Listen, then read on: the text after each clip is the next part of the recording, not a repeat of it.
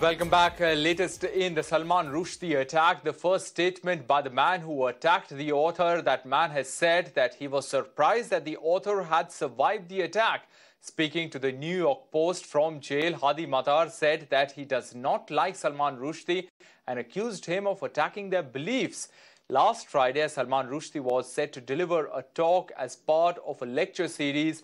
A man stormed the stage and stabbed him multiple times in neck and abdomen.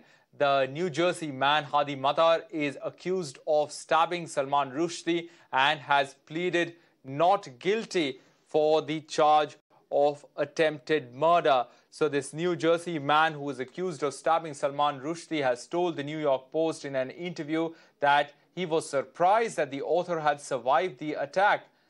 Srinjoy uh, joining us uh, for more on this. Uh, Srinjoy, the attacker is unrepentant for what he has done. Uh, you know, does this hint at possible radicalization? And uh, he's a 24-year-old man who was living in New Jersey in the United States, attacking Salman Rushdie. What does it tell us about the world we live in?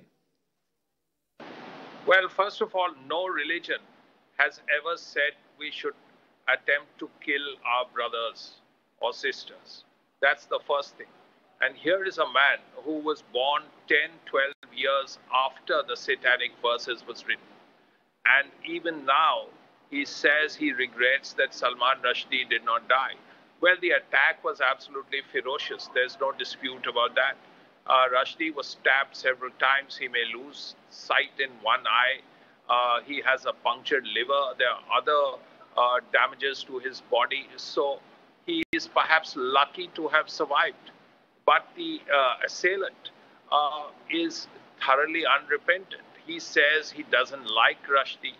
He's greatly fond of Ayatollah Khomeini, which is fine. You have every right to like uh, Ayatollah Khomeini. You have every right to dislike Salman Rushdie. But that does not mean that you should attack Salman Rushdie and, uh, and uh, try to kill him he was stabbed several times. So, in that sense, the assailant is right. Uh, Rushdie actually had a narrow escape, a lucky escape, because anyone who's 75 years old has been stabbed several times naturally uh, will need immediate help that Rushdie actually got. So, in a sense, uh, we will have to see how the court case turns out. But this is clearly attempt to murder.